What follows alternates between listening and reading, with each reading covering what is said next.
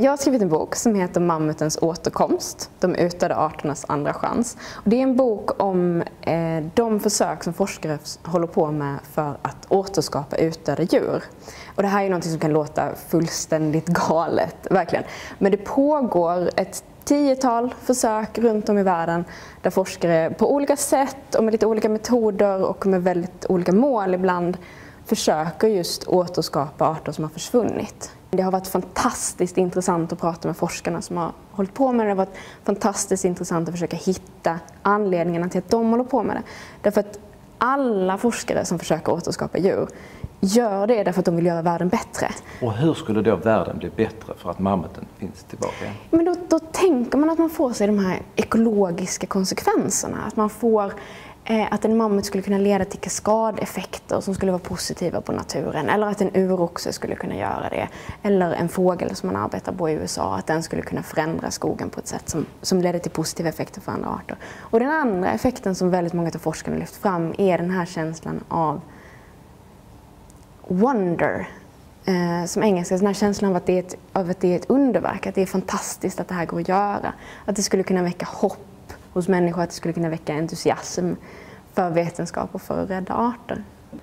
Jag tror att problemen som man kommer att stöta på kommer inte vara de genetiska. Man har faktiskt löst de genetiska problemen. Att göra, att genetiskt bygga om elefanter till mammutar, det är vi faktiskt ganska nära att göra.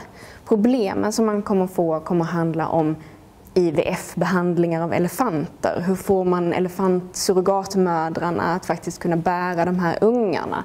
Blir vi tvungna att utveckla någon form av eller blev forskarna då tvungna att utveckla någon form av artificiella livmödrar? Att det är liksom den typen av problem som man kommer att stöta på. Och hur gör man då rent praktiskt? Kan du bara kort förklara för att arbeta sig tillbaka genetiskt till en utdöd art? Det finns ett par olika metoder. Så vi kan ta uroxen som ett exempel. Där är det på ett sätt ganska lätt därför att alla kor som finns idag har ju uroxen som anfader. Så våra kor är i princip tämjda uroxar, även om det har gått väldigt, väldigt länge. Så det forskare försöker göra där är att man försöker avla fram en urox igen. Man försöker helt enkelt korsa de eh, lantraser eller andra raser som finns av kor som har de egenskaper som man tror att uroxen hade och så försöker man slå ihop det igen. När det gäller mammutar så får man gå en helt annan väg. För att man har gjort genetiska analyser utav frusna mammutben. Det är en ganska ny teknik som gör att man kan sekvensera frusna ben och is, istidsben. Man har gjort det med neandertalare också till exempel. Eh, och då kan man titta på dem och sen så kan man försöka hitta de gener som gjorde mammutarna unika. Så man hittar generna för päls, man hittar generna för underhudsfett och sådana saker. Och sen så gör man då syntetiska kopior på de här generna. Så man säger att okej, okay, men vi tror att den här, det här är pälsgenen, liksom. så då gör vi en kopia på den. Och sen så stoppar man in den i princip i en elefantcell. Så säger man att men nu har vi en elefant som har en mammutegenskap. Så långt har man kommit idag. Så det finns i Boston, vid Harvard, celler från elefanter som har 14 mammutgener i sig.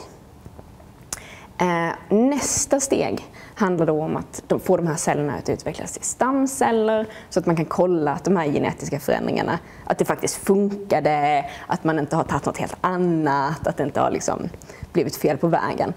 Och när man sen då har gått igenom alla de förändringar som behöver göras så tänker man sig att man skulle kunna använda de här cellerna för att låta en liten mammutunge växa upp från dem.